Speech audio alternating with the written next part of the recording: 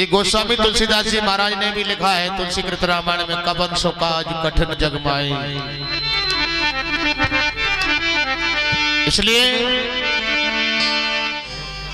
हाँ सुर संगम YouTube channel, इनकी ओर से भी सौ रुपए का पुरस्कार प्राप्त हुआ है, धन्यवाद भैया के लाने।